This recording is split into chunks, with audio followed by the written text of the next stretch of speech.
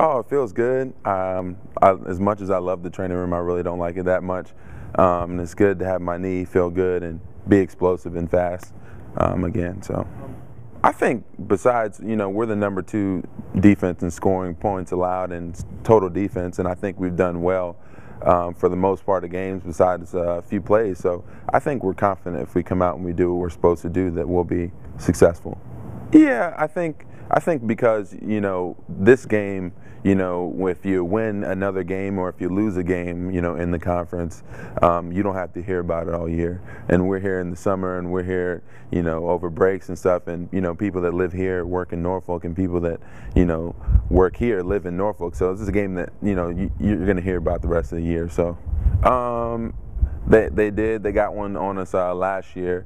Um, and you know they're a type of team that you know tries to keep their foot on the pedal, and we're we're prepared for it. But I think if people just do what they're supposed to do, you know, we'll take care of that stuff. But they do they do like try trick plays, two point conversions, and stuff like that. So you got to takes a little extra time out of your practice to focus on that stuff. Uh, it's always good. You know, it's always good to have your fans and, and Zable rocking a little bit. And I think we always play a little better and feel better when we're at home. So, um, certainly excited.